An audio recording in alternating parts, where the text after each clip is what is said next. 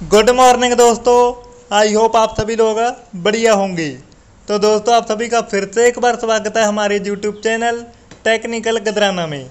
तो दोस्तों, आज की वीडियो में हम लोग बात करने वाले हैं बुढ़ापा पेंशन के बारे में। लेकिन दोस्तों, वीडियो शुरू करने से पहले आप सभी को रक्षाबंधन की हार्दिक शुभकामनाएँ।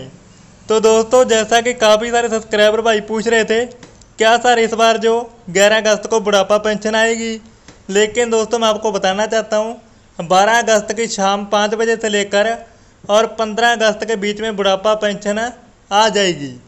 तो दोस्तों, हो सकता है कि आज शाम पाँच बजे तक भी जो बुढ़ापा पेंशन जारी हो जाए, लेकिन इसके चांस बहुत कम है।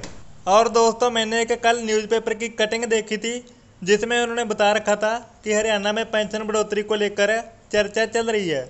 तो दोस्तों, अगर आने वाले टाइम में पेंशन में बढ़ोतरी हो जाती है तो पेंशन धारकों के लिए काफ़ी ज़्यादा जो खुशखबरी साबित होने वाली है। लेकिन दोस्तों, पेंशन में बढ़ोतरी जो कि 2022 में तो मुश्किल लग रहा है। हो सकता है 2023 में जब बुढ़ापा पेंशन में बढ़ोतरी हो जाए। लेकिन दोस्तों, अभी जो अक्टूबर तक का जो कह रहे हैं कि पेंशन में बढ़ोतरी कर सकते हैं, फ़िलहाल ऐसी कोई भी अपडेट नहीं है।